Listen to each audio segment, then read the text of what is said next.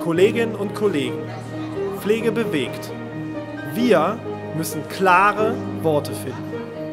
Wir müssen Fakten schaffen, damit man sieht, wie gut wir sind.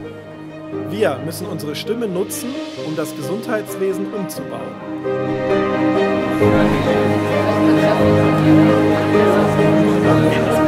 Wir müssen reden, um unsere Zukunft zu gestalten.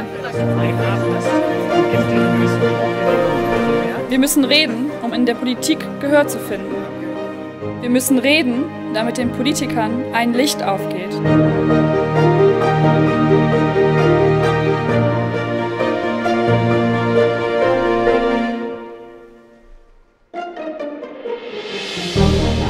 Wir müssen unsere Stimme nutzen, um den Wert professionell Pflegender für unsere Mitmenschen aufzuzeigen.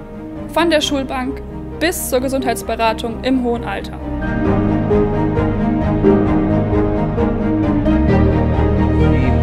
Jeder von uns, der Glück hat, wird vielleicht mal alt.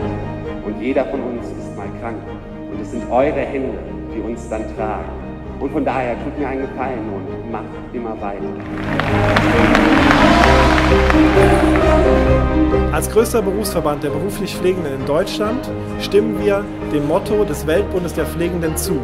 Wir Pflegende sind elementare Verantwortungsträger der Gesellschaft. Wir müssen uns gemeinsam stärken, um hörbar zu sein.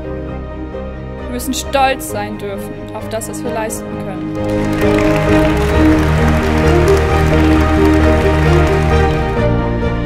Mit meiner Stimme danke ich allen, die ihre Stimme für die Weiterentwicklung und Stärkung der professionellen Pflege in Deutschland einsetzen.